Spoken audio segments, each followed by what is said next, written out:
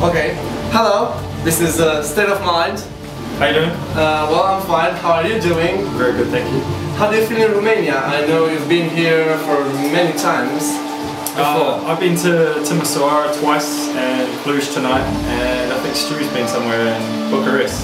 Uh, do you know where? Uh, I'm not sure where. Uh, a few years ago, I'm, I'm not quite sure, at Arena DMB. I think that's right. Yeah. And how do you feel in Romania? Yeah, I've had a great time actually. Both both parties are really good. Uh, clubs are really cool. This this club in particular is really nice, man. Like I think it it uh, hold in the Mixmag top 100, so that that says it's something. actually uh, number 25 in the Yeah, DJ it's Mag. Yeah, it's it's Yeah. a really nice club. Like it. Yeah, actually for me it's the first time too when I'm here, so and I quite like it. So. Cool, cool.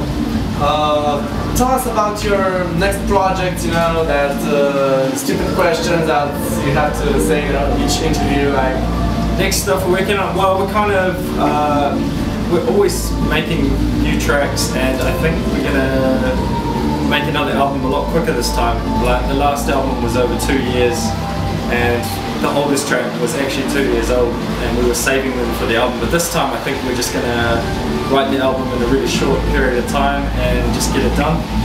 And we're sort of doing that right now. oh, nice. Can you give us a release date or something?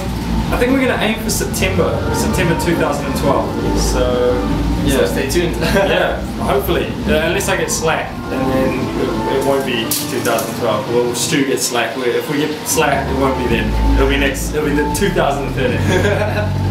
Uh, tell us more about your background. You know, like when you started uh, drum and bass music, if you played uh, something, other musical genres or something. You know. uh, well, we were both kind of in uh, semi-average. Didn't really happen rock bands. Like we tried and uh, couldn't get it really happening with other friends we went to school with and stuff. And then we, yeah, sort of turned to doing solo stuff each. Uh, this is before I ever knew Stu, and we were both making trip hop and kind of uh, downbeat sort of stuff. And then we ended up going to a few drum bass gigs and met up through groups of other friends. And yeah, we've been making tracks for well since like 2001 now. So Nice. So it has it's been been a 10 while. years. Yeah, 10 years. That sounds old. That sounds terribly old. Yeah, It it's is. true that. It is, but they're not old, what the fuck. Well, oldish. Uh, tell us more about your feedback of Romanian public and how did you felt here?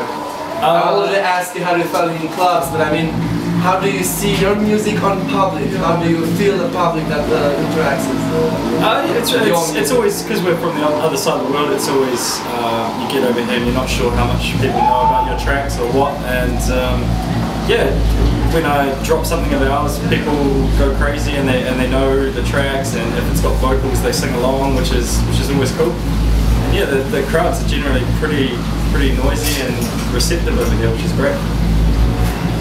Nice to hear that. Now, thank you for the interview, and if you want to say a few words for the Romanian public that watches this video, go on.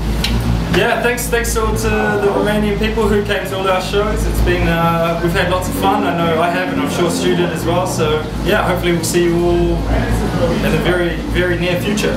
Thank you.